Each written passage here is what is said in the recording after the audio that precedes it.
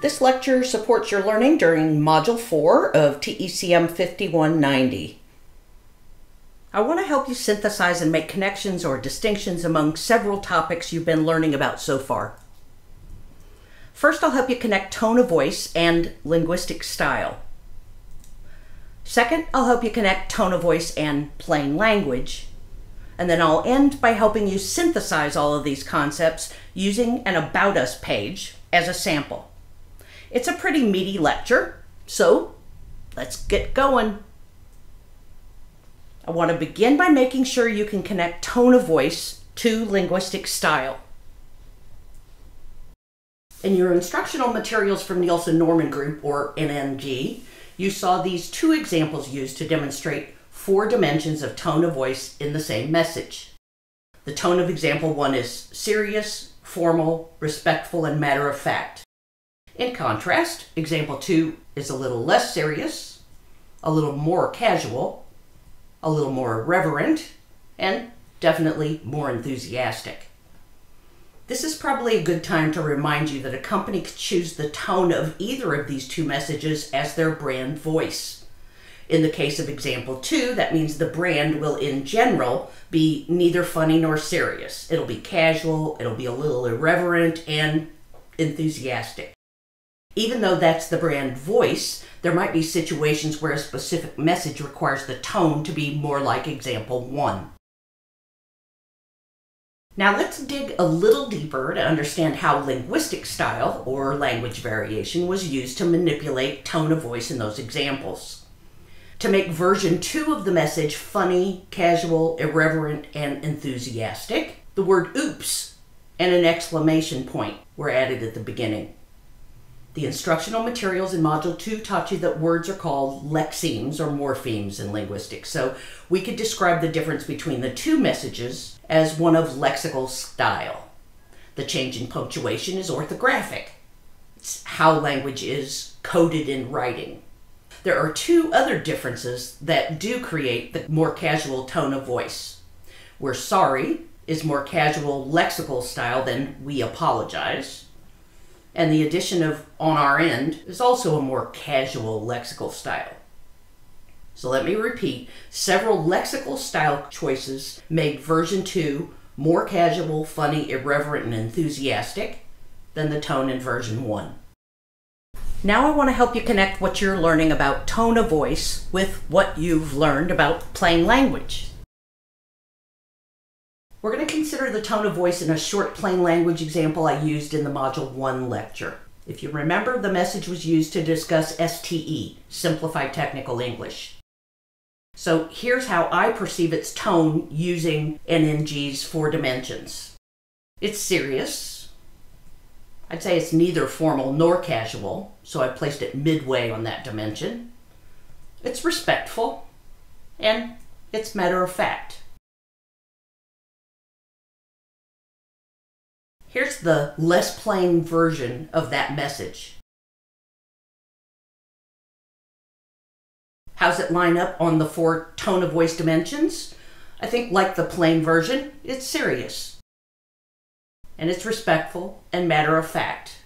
But it's definitely more formal than the plain version. I think we'll find the more balanced tone between formal and casual is typical of plain language. But we'll consider more examples over the rest of the course before we make that conclusion. We'll also consider whether a plain language message can succeed when it's less serious, respectful, or matter of fact. Let's consider how linguistic style or language variation was used to manipulate the tone of voice in the plain and less plain versions of this message about the dangers of engine oil. Lexical style describes one difference, the plain version substitutes engine oil for the longer noun phrase in the less plain version.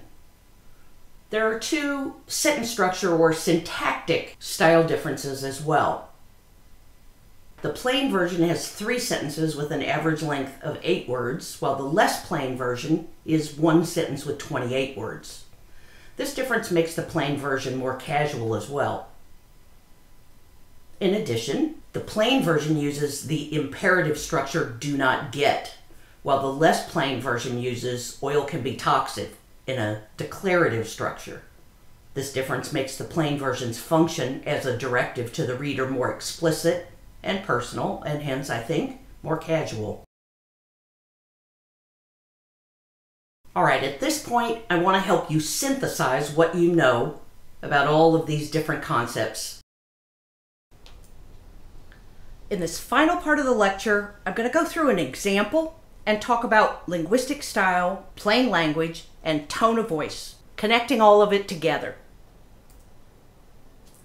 I found an About Us page for a software company.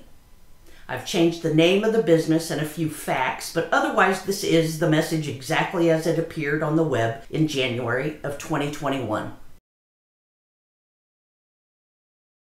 Here's the original. I rewrote it in plain language, that's what you see on the right. For my purposes in this lecture, we're just going to concentrate on the first paragraph, the first passage of each version. Here are the stats for the original and plain language versions of the About Us page. The plain version is slightly shorter, with more sentences, but they're shorter on average. There was an improvement in all three of the readability scores shown here, but they're relatively small.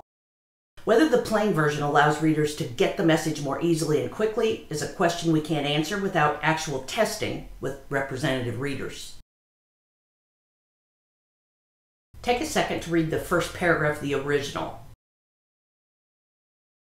Here's how I perceive the tone of voice in the original on our four dimensions. A little bit on the serious side, neutral on the formal casual dimension, I'd say highly respectful, and matter of fact. Again, there's no way to know for sure how the intended audience perceives the tone without testing. Now read the plain language version I created.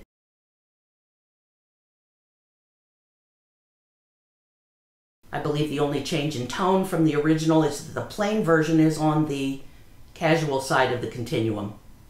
Let's consider how I altered linguistic style to create the plain language version and whether that affected tone of voice. The syntactic style of the plain version is shorter overall and shorter sentence length, which I think this is part of what leads to the more casual tone of voice.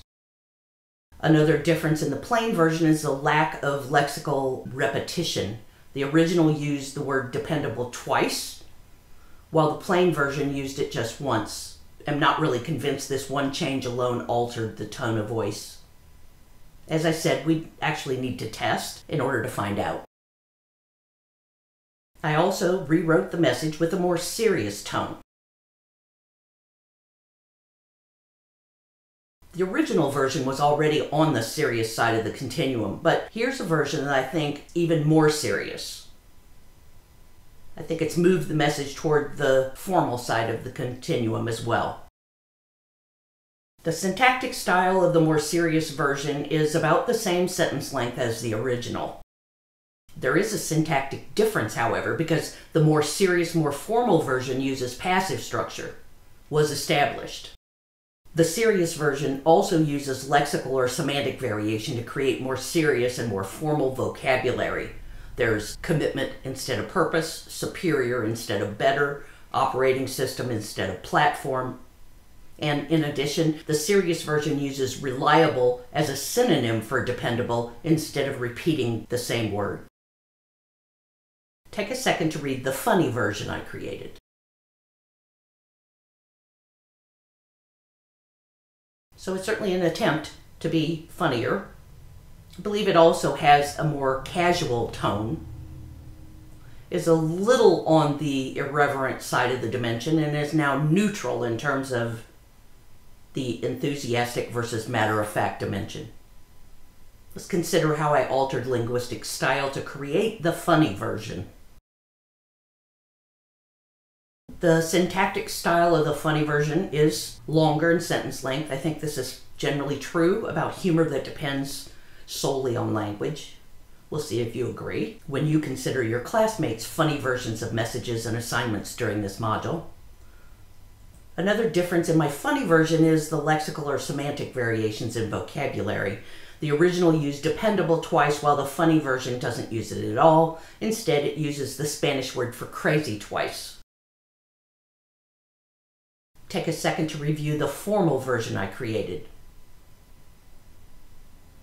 What I did in this case was to work from the serious version that I created earlier and replace for us and other small lenders with for the developing enterprise and other enterprises in the small lender industry.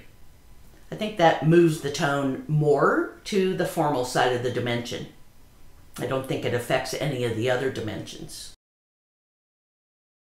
The syntactic style of the formal version is longer than the original in terms of sentence length. As I mentioned, the formal version incorporates changes made in the serious version, so that means that it's got the passive syntax and the lexical or semantic choices that are both more serious and formal. Two additional lexical or semantic differences are replacing the short phrase small lenders with enterprises in the small lender industry. But I don't think any difference is as important as removing the pronoun us and using a noun phrase, developing enterprise, in its place all pronouns tend to create a less formal, more casual tone. Finally, take a second to read the casual version I created. For this one, I worked from the plain language version I created earlier and moved some information out of the first sentence into separate, very short sentences. I also substituted the verb is for remains and I think these changes moved the tone of voice toward the neutral area for enthusiastic versus matter of fact. Now let's consider the details for how I altered linguistic style to create the casual version. Compared to the original, the syntactic style of the casual version is shorter sentence length. In fact, the changes I made from the more casual plain language version I showed earlier result in the same 23 word sentence length. The words have just been moved around in this more casual version. That relates to another major difference in the orthographic style of this casual version, moving phrases describing users of the software to their own incomplete sentences. This type of syntax is common in conversation where subjects, predicates, phrases are often missing. That's called ellipsis. So using it in writing creates a more casual tone of voice. This table has the definitions I've shared with you in the Module 1 lecture with two changes. First, I've added a definition for linguistic style to the top row. As you learned in Module 2, it has a very general meaning, any variation in language. Second, I added the term prescriptive to my definitions for style, voice, and tone to make it clear that unlike linguistic style, which describes how language is used, these three prescribe how it should be used. Here's a way to think through these distinctions. Linguistic style would describe the shoes people wear. Style would prescribe which shoe to wear to be quote unquote in style. Voice would prescribe which shoe to wear to be perceived as professional. And tone would prescribe which professional shoe to wear with a specific dress. As I said at the beginning of the course, we won't talk much about prescribed style standards. We will, however, continue to talk about linguistic style in order to analyze voice and tone and plain language.